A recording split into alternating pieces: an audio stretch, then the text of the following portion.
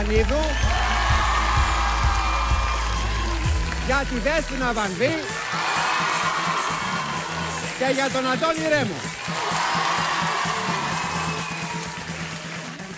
Καλώς Καλησπέρα, καλησπέρα. Χρόνια πολλά. Είστε εδώ πολύ καιρό τώρα. έτσι. Χρόνια πολλά Χρόνια κιόλας. πολλά. Χρόνια πολλά, εκτό ανέστη. Αληθώς. Είστε έτοιμοι όλα καλά; Δέσποινα, θα το ξανασηκώσουμε φέτος, τι λες; Εννοείται. Αντώνη, ποια είναι τα όπλα σου; Για να κλέψεις την νίκη από την ε, Δέσποινα. Έχω μυστικά όπλα φέτος. Θα το Οκ. δείτε σιγά σιγά. Θα τα δείτε Οκ. σιγά σιγά. Μιχάλη, έχεις εσύ ας πούμε δει παίχτες από άλλες ομάδες που θα ήθελες να καταλήξουν στη δικιά σου; Εμένα αν με ρωτάς δεν θα άλλαζα τίποτα από την ομάδα μου.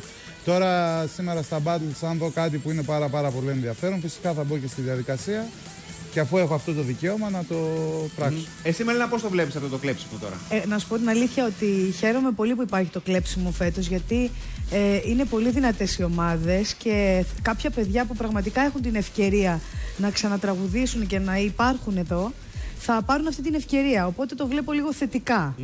Να πούμε στο σημείο αυτό ότι και απόψε, αλλά και σε όλη τη διαδικασία των Battles, δηλαδή των επόμενων τεσσάρων εκπομπών, θα είναι κοντά μας οι εξαιρετικοί συνεργάτες σας. Είναι πολύ γνωστοί και Τα πολύ όπλα που αγαπημένοι λέγαμε, μουσικοί, τα όπλα, τραγουδιστές, τα όπλα. συνθέτες και μπορείτε να τους συμβουλευτείτε και να πάρετε την τελική σας απόφαση. Και έχουμε λοιπόν για τον Μιχάλη, τον τραγουδοποιό, φοβερό και τρομερό Γιάννη Γιοκαρίνη.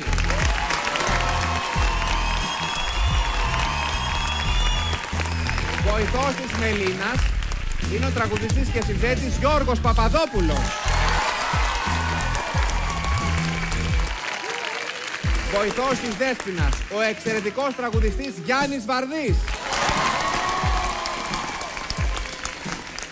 Και για τον Αντώνη είναι ο τραγουδιστής και μουσικοσυνθέτης αλλά και παραγωγός, φοβερός Χρήστος Δάντης. Κύριοι, καλώς ήρθατε στο The Voice. Εύχομαι να είστε φωτισμένοι και να δώσετε σωστές συμβουλές στους ε, coach, έτσι. Λοιπόν, είστε έτοιμοι να ξεκινήσουμε; Έτοιμοι. Και πάμε τώρα σε ένα ζευγάρι από την ομάδα του Αντώνη Ρέμου. Άλλοι από εμάς συγκινάμε.